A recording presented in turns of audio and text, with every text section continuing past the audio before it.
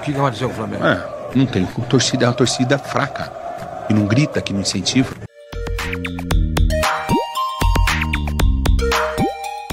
Pois é, sempre assim, né? Agora o Ulisses Bo- Costa, né? é, ali da- do jogo aberto da Band, que narra alguns jogos, disse aí que a torcida do Flamengo é muito fraca, que não empolga. Cara, é, sempre tem que falar do Flamengo, eles necessitam falar do Flamengo. Muitas das vezes gostam de falar mal do Flamengo porque dá engajamento, né? Falar bem, é, eles estão um pouco irritados agora, eles não estão querendo falar muito bem, não.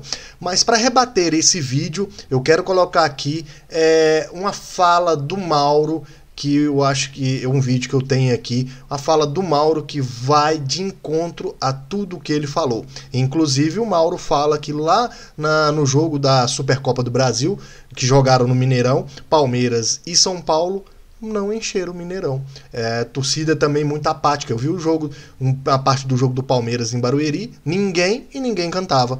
Então realmente é muita inveja e vamos para rebater Ulisses com o vídeo do Mauro. O que vai dizer o Flamengo? É, não tem. A torcida é uma torcida fraca. Que não grita, que não incentiva. A torcida do Flamengo. Eu tô falando pra realmente- você. Eu, eu falo isso por Montevidéu. Eu tava lá transmitindo a final da Libertadores. Eu fiquei, eu cheguei uma semana antes do jogo em Montevidéu. Tá muito elitizado. Entendeu? Comecei, comecei a andar, Também não tá assim? andar, mas parece não. A do do Palmeiras não tá. não, não tá, não tá. Mas o A do- preço do ingresso. Não, mas do Corinthians tem de 30 reais, Sim, sim. 60. Mas a média de ingresso. Entendeu? Sim. Elas se equevalem. Sim. A, a média de ingresso do Palmeiras Mas é deixa eu explicar. Você vai o ver, hoje no diferencial. jogo você vai ouvir eu mais vou te do falar. Palmeiras. Eu vou te falar. Se fosse em Montevidéu, a torcida da geral, do Maracanã, ali o Palmeiras ia sentir o bafo. Mentiram, viu? Mentiram! Quando é pra fazer chacota, eu faço. Quando é para falar sério, eu também falo.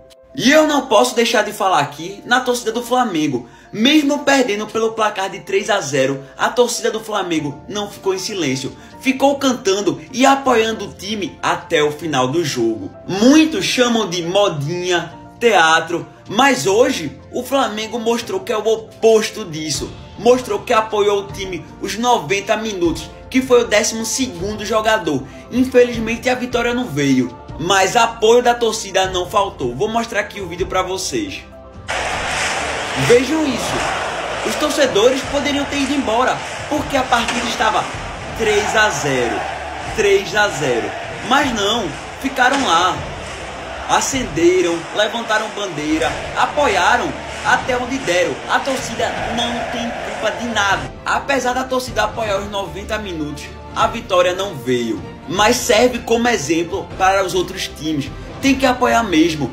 O Flamengo tá vivendo uma boa fase, tá se recuperando de vários técnicos ruins. Finalmente chegou um bom. E a torcida entendeu o momento, entendeu que é momento de apoio. O que vai dizer o Flamengo? É, não tem. A torcida é uma torcida fraca.